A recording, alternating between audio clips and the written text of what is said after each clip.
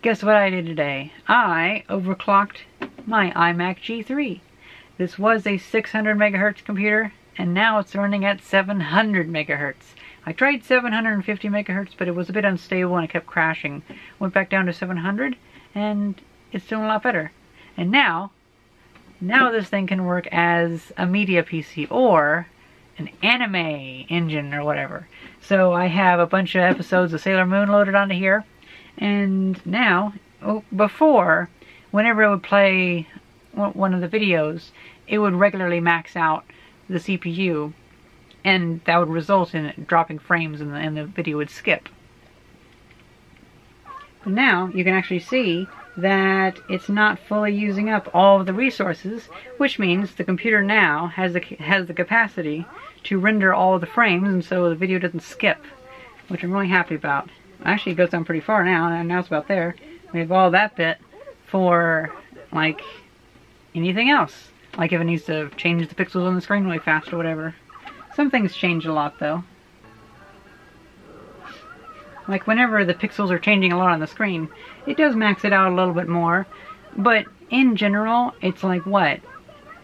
12 or 15% faster. And so it's going to render 12 or 15% more frames. Which is great. I'm really happy with this. Oh, and yeah, so I of course I had to pick a Sailor Moon wallpaper because, well, I saw it on the internet and it's like, you know what? I really like how that looks. It's all nice and colorful and happy. It makes me happy. And this is going to be for watching Sailor Moon anyway. So, I went with that. And I am happy with it. So yeah, I, I don't know, I'm just really happy because, well, so if you're not very familiar with circuitry, which I, I assume most of you are, there's either through hole or surface mount. Through hole is what you normally think of with the older types of circuits where it's actually like in the circuit board there's a hole and the pin goes through it and the solder holds the pin in the board. But most of the modern circuitry is actually just on the surface and so it's just like a little tiny little component that's just stuck to the surface of the board and doesn't actually go through.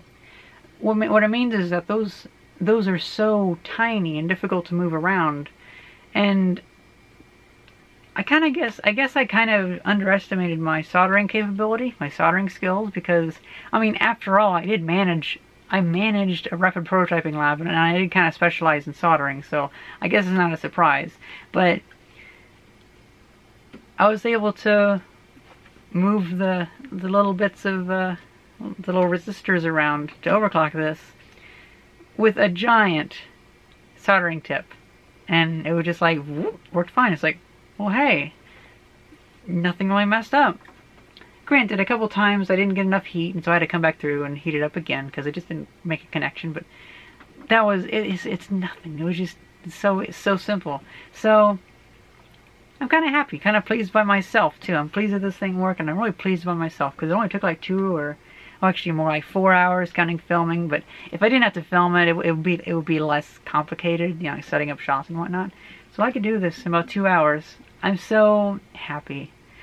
And now, whenever I go back to Silicon Valley, I might see about keeping an eye out for a 700 megabyte uh, megahertz motherboard. So this was seven. So this was 600 megahertz, and I upgraded to 700. I'm thinking if I found a 700 megahertz board, which is the highest was, they were ever sold with, I might be able to take the 700 megahertz to 800 megahertz, and that would be yet again like another 12 or 15 percent faster than this. So like 30% faster, actually, yeah, 33% faster than what this originally was. If I took a 700 megahertz to 800 megahertz, you know, it's, ah, it's so cool. The boards do have the capabilities to go up to 1 gigahertz, but just, that's just theoretically. You can tell it to go to that, but it's not actually going to work at that speed unless I find a bunch of logic boards and just tinker around with them. There's a chance I'll probably fry them though, so I want to have quite a few. So yeah, that's pretty cool. I'm, I'm so excited to have a have a manga machine. No, anime machine. Whatever. Kind of don't trust the handles in these anymore though. Because anytime I pick it up, it all kind of like creaking sounds and this plastic's, well, I mean, it's 16 years old. I'm just I'm just waiting for like me to pick it up and boop, this pops out and it falls on the ground and shatters into a thousand pieces. When I when I open this thing up, like all the little tabs and stuff like that just cracked off. You know, like they're so they're supposed to be like you press them in and they move off, but this plastic's so old that just they just shattered off, and it's like, well, shit. Now I have to put tape on everything to hold it back together. I measured the bottom of the CPU while I was out running for about 20 minutes and it didn't seem to have any heat issues, so that's pretty cool. So I don't think I have to worry about adding a fan. I didn't overclock it too much though, so I think that's okay. I've seen some people say like they took a 500 megahertz to 800 megahertz. That's like three times as much as what I did, so yeah, no wonder I don't have to cool it yet.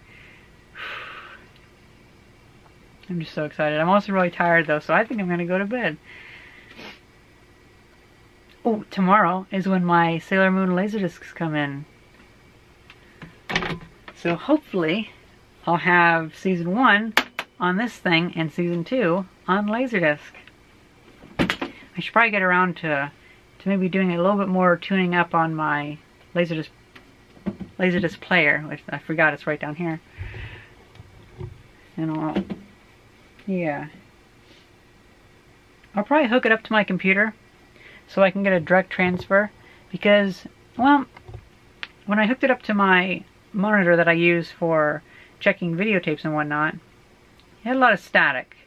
And when I hooked it up to that TV over there, which is my, my good TV, my 1986 or 87 Magnavox, it's the one that I play Nintendo on and everything. It had a little bit less static, but still some static. So I'm thinking there might be more of an issue with just like the wire going to the television, not so much this. And so I might hook it to my computer, that the capture card that I have for capturing video, and I might have might have a better a better view of if if it really is outputting static or not. Because there, there's like a little bit of some specs on some of the Laserdiscs. I think it might just be this Laserdisc player though, because this Laserdisc player is one of the lowest quality Laserdisc players that was ever sold. Actually, the second lowest quality Laserdisc player ever sold.